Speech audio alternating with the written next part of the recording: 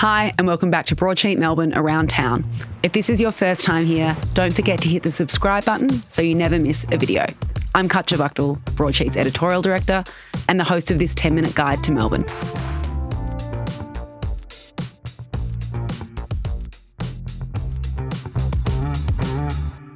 Sandra Foti is the woman behind Piccolina, which is one of Melbourne's favourite and best gelati spots.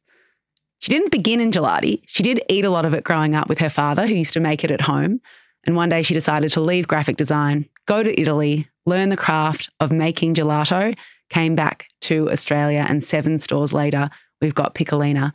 Sandra is here with us in the studio to chat about a really exciting series, the third of its kind that is about to start at Piccolina. Welcome, Sandra. Thanks for having me.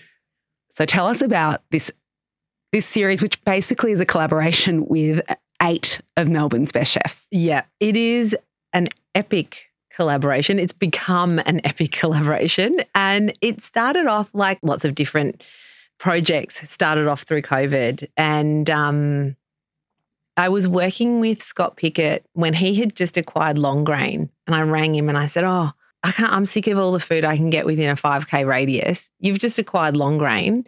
How about we do a box. It was before Providoor and all that that, that stuff. And I said, let's let's do a box. You can um, design the, the, the gelato flavors based around you know the concept of long grain, and we'll put the two together. Two great brands, and let's just see what happens.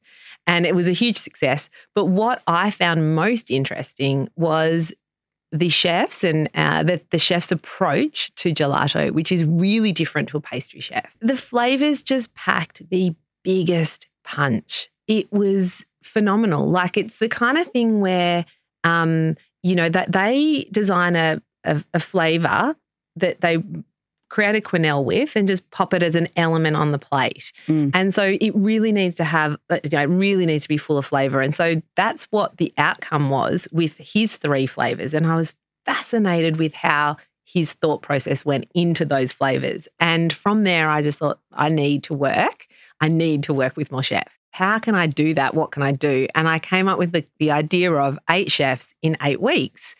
And I just wrote down a list of chefs that I thought were kind of cool. And I just wrote them an you know, DM on Instagram. I was like, "Hi, I'm Sandra. I um, don't know if you know who Piccolina is, but you know, would you? I've got this idea. Would you consider working with us?" And the email, the text just came straight back. The DMs came straight back. And they're like, of course we know who Piccolina is. And yes, we would love to do this. So who and were some of those first chefs? Um, Tom Sarafian, Shannon Martinez, um, Aaron Turner. Oh. Um, uh, Star power. Yeah. It was, I mean, I just picked people that I thought were really just doing amazing things. Yeah. And they all said yes. And I was blown away. I still am blown away. I know it sounds funny, but when people know who we are, know what we do, and respect what we do, and actually want to work with us. Yeah. I'm i bet it's also a fun opportunity for them. It's something they don't get to do every day where they get to put their creative juices. Yeah.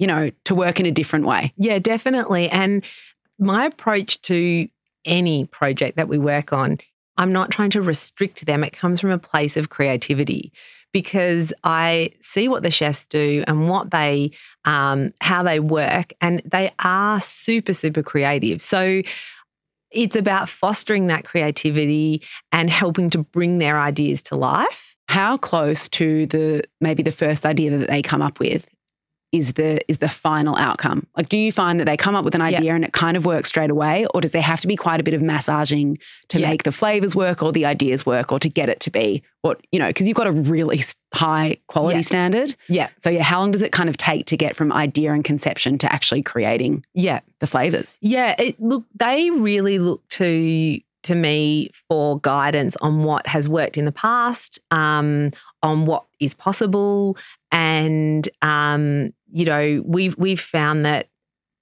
that we're able to give them some guidelines, but they will come with literally hundreds of ideas, and and I can just then look at the ideas and visualize how it will resonate with the customer, right?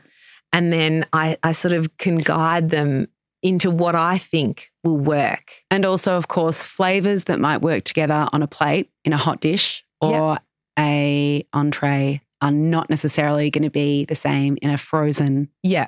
in a frozen version. Equally, we can reconceptualize an entree or an appetizer or something like that. And one example of that is um, the work that we did with Ross um, for Serai for this series. Uh, I went to his restaurant and he gave me, he plated up the, the little wonton with the pineapple. And he said, "Do- do- I'm cooking this. Do you want to just try And it? Serai is a Filipino restaurant for those who might not know. Yeah. Correct. Yeah. And so he, and I, it was just a, would you like to try it? And I said, oh, yeah, let, let me try it. It had nothing to do with necessarily where the series was was going or what one of the dishes he was going to um, create. But I ate it and I said, oh, this is phenomenal. Oh my God. Mm. Can you make that into one of the flavors? And he's like, are you serious? How? And I said, can we just, can I need my customers to eat that wonton? Like, ha- So let's do it. So, how do you translate those flavors then into an ice cream? I'm assuming it just feels like, is it a savory taste or a sweet taste? Well, that's the beauty in it is that the, the cup of gelato, it's it's sweet, but it has those savory notes, and um, you know, the, there is a, literally a little wonton with the the pineapple salsa and the caviar on top, and then we've he designed the gelato that went with it, that was cu- custom designed to marry back with it, and you you literally are eating An actual wonton, an actual wonton as in a savory wonton. as in a savory wonton with um, the pineapple salsa that has all the beautiful sauces and all everything with the caviar on top, and then it's paired back with the gelato. So it's like they're like gastronomic desserts, Little, a little meal. a little meal. Let's talk about the rest of the chefs, though. I mean, the lineup is pretty incredible. You've got Brigitte Hafner from Tedesca. Yeah. Um, please tell us about some of the other chefs you've got involved. Yeah, we've got um, Nornie from Mabu Mabu, um, Ellie Hope Street Radio. We have uh, Charlie from Clover, Clover. Wine, Ella, author of Ella Ella. Oh, Coskun from Tulum. I miss Coskun. So, what is the gelato like that is going to take us to Tulum? So he's done um, one dessert that was is his fame. It was his signature dessert, um, and that's the the chicken pudding with the kadayif, and it's topped with a caramel, um, like a whipped caramel cream and cinnamon, and it's just.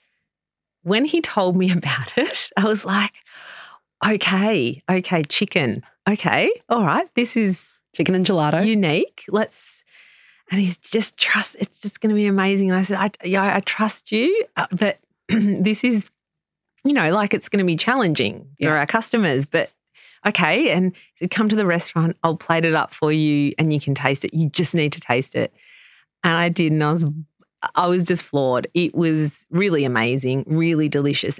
I'd love to know what Brigitte's got on um, in terms of her ingredients and flavors because she's such a talented chef. She's all about those beautiful kind of local ingredients. Yeah, uh, Brigitte is a, was a pleasure to work with. She did so much of her own testing in her kitchen um, before she even sort of came to us with the final ideas. It was definitely a true collaboration because we needed to kind of work with her ideas and then translate that into something that um, we could serve in store. So Brigitte um, based her three flavors on her time spent in three different places in the world. So Sicily, Jerusalem, and Sri Lanka.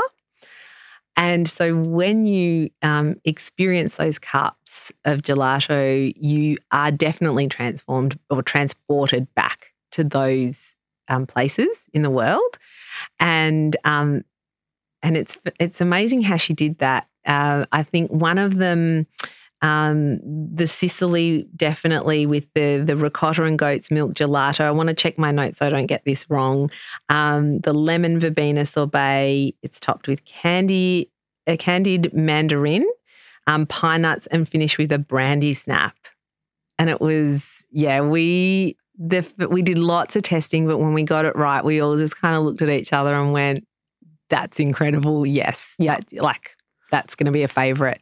So, when does it begin, this project, and when does it end? Yeah, so it begins on the 21st of June and it finishes up on the 15th of August. Okay, so it's eight weeks, but as everyone should remember, you've only got one week per chef, One week per, Per chef, chef, so- and then it's gone. and then it's gone. Yeah.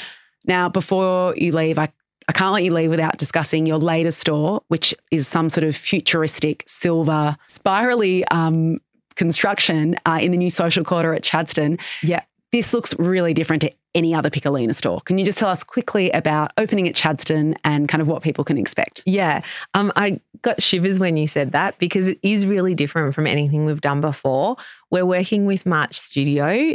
Chadstone at the social quarter, that was a really big move there. And I was really unsure about, um, you know, what our place would be within the social quarter and, you know, how it would all turn out. But it's, it has been incredible. It is mean- busy all the time. And I have watched. I have watched the lines form. You walk into the social quarter and you see the kind of gleaming silver of Piccolina. It's been a really big success and our challenge from a design perspective was how do we because the social there's a lot happening in the social Yeah. quarter and it was you know how do we stand out and i think we decided to to do that by just kind of being i don't want to say quiet because it's a it's a very impressive um, kiosk but just um, using a, you know, a singular expression of a material and just um, being contained within our little space, Mm. but just shining like being like a bit of a beacon and a diamond. And I think it's achieved that, and people love it. They love the brand. The product's really good, um, and so so I think it's all up. It's been a success. Great.